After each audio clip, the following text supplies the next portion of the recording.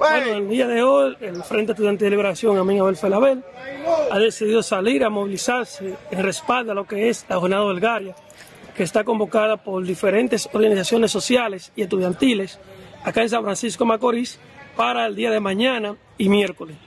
Recordarle a las autoridades que San Francisco de Macorís necesita una serie de obras que ellos mismos se han comprometido a construirla y que ellos mismos anunciaron de que el pasado año se iban a entregar algunas de estas.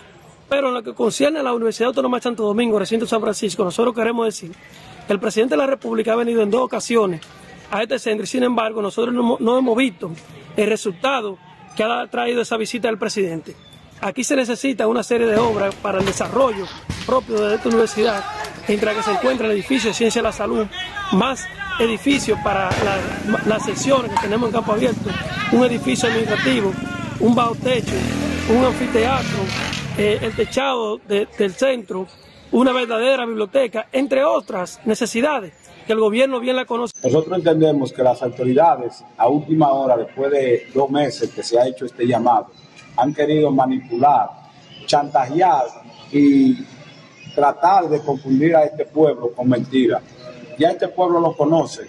No es una vez ni dos veces que han engañado a San Francisco de Macorís. Las pruebas están ahí. En cuanto está la avenida Circunvalación y en cuanto lo encontraron ellos, el porcentaje. Nosotros creemos que tal vez va en un 50%. El hospital de especialidades tal vez va en un 60%, con dos años y medio que tienen supuestamente trabajando a toda capacidad. Pero ¿a dónde está la Plaza de la Cultura? ¿A dónde está la carretera San Francisco de Macorís, Río San Juan?